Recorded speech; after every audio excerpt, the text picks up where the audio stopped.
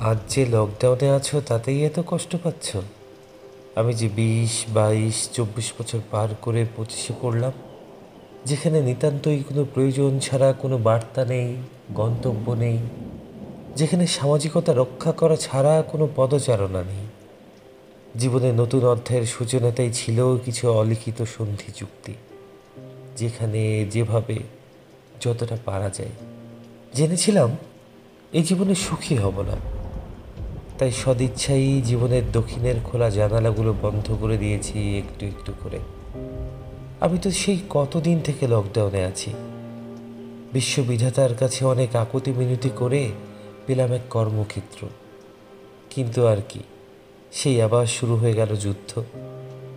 এই যুদ্ধটা ছিল বেঁচে থাকার লড়াই, টিকে থাকার লড়াই, নিজের সাথে নিজের, একান্তেই। নিজেকে একবারও বলতে পারি না আমি মানুষ ছিলাম, কিন্তু আমার যে খুব ইচ্ছে করে মানুষ হয়ে বাঁচতে।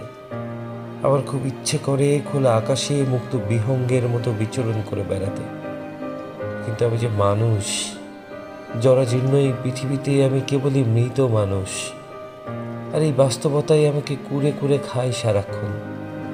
আজ এই পরন্ত বিকেলবেলায় আমার জন্য শুধু একটাই খোলা জানালা, যা দিয়ে শুধু এক ফালি আকাশ দেখতে পাই। যে আকাশে ঘন কালো মেঘের আনাগোনা কখনো কখনো ভীষণ সৌভাগ্যে আমি নীলাকাশ দেখতে পাই, ভোরের সূর্যোদয় দেখতে পাই। সুখ তো আমার এতটুকুই, এভাবেই।